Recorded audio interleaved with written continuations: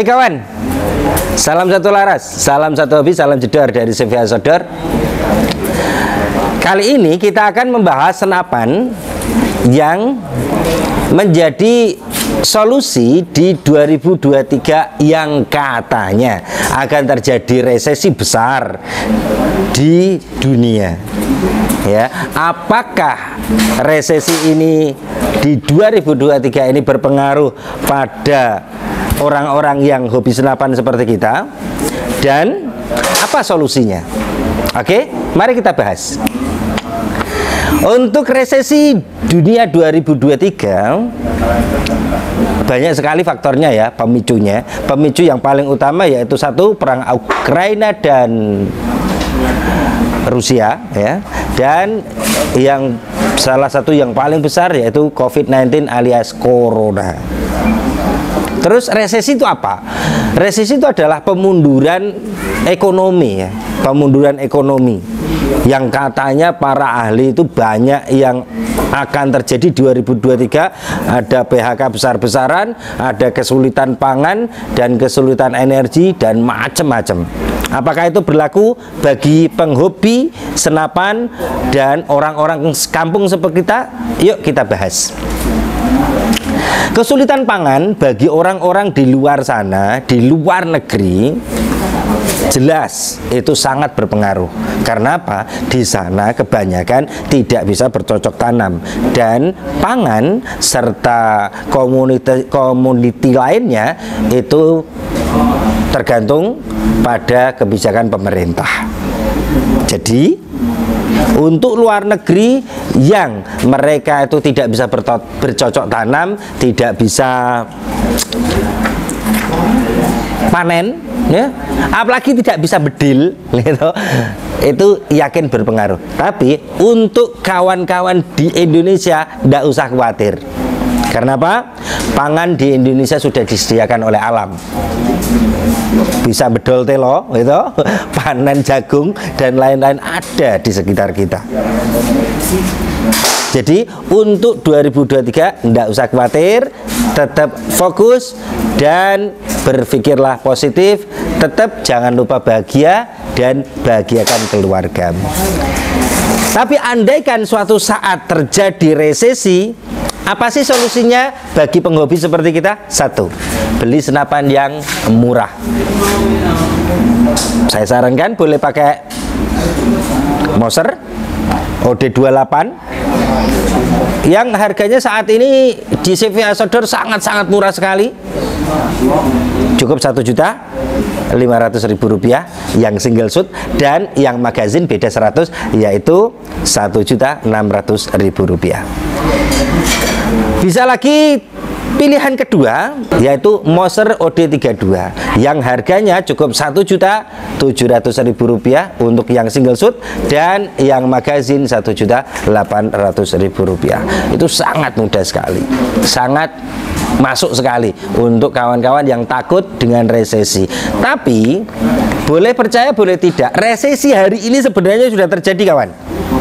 Resesi hari ini sudah terjadi tidak nunggu 2023 pengalaman kami di CVA Sodor awal mula corona pertama kali justru penjualan senapan meningkat 200% itu menunjukkan bahwa orang-orang Indonesia siap untuk menghadapi, menghadapi kondisi apa pun.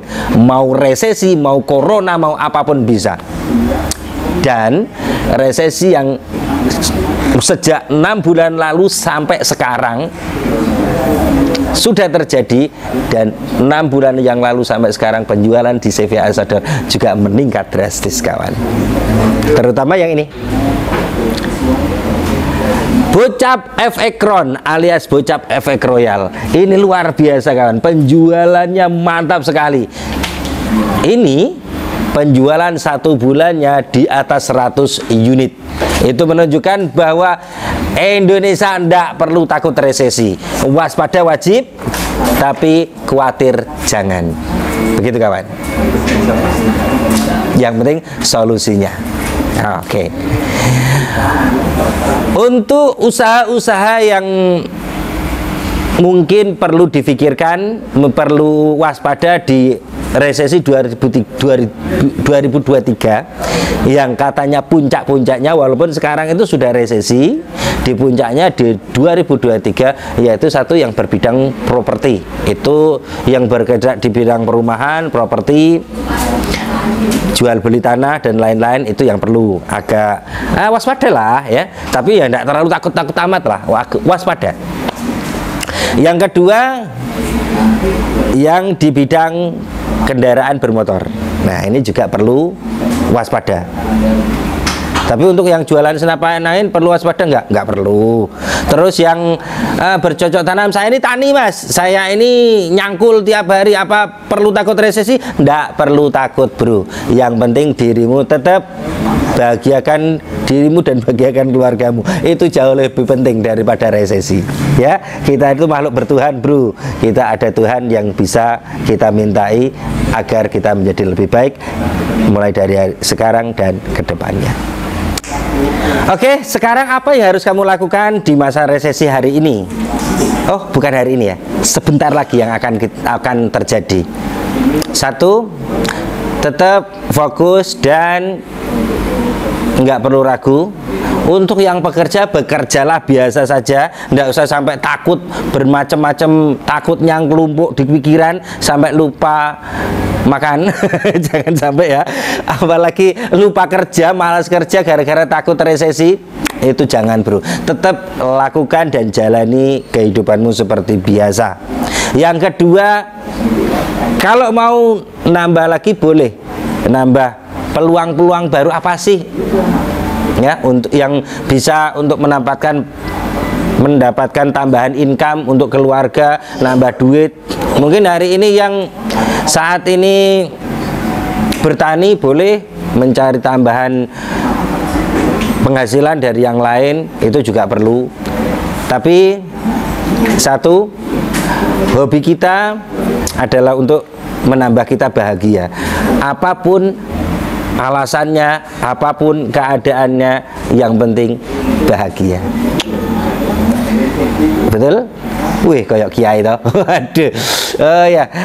Gini kawan. Menyangkut resesi dengan hobi kita sebenarnya nggak ada sangkut pautnya sama sekali. Tapi boleh dong kita sangkutkan gitu kan?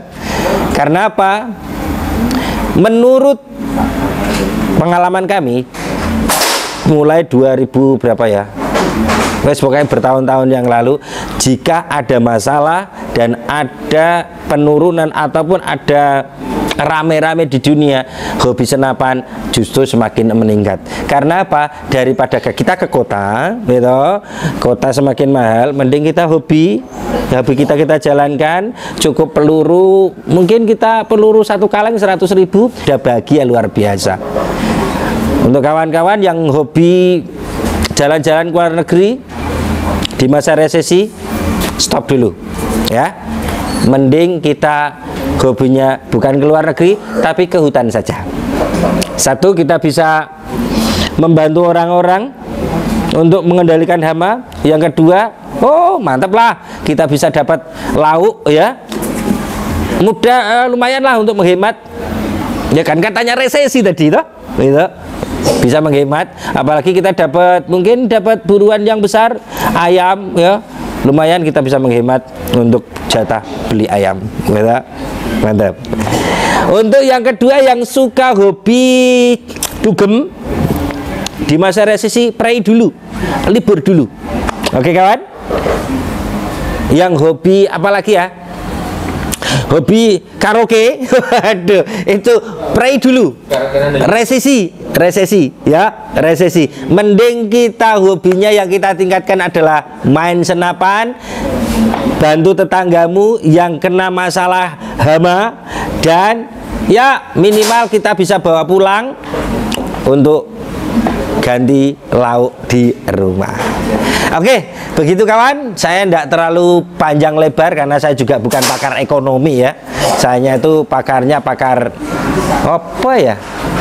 Tidak pakar-pakaran lah. Yang penting bahagiakan dirimu, bahagiakan keluargamu, insya Allah rezekimu akan meningkat. Begitu kawan, dari saya Kurang lebihnya mohon maaf. Salam satu laras, salam satu hobi, salam jedar.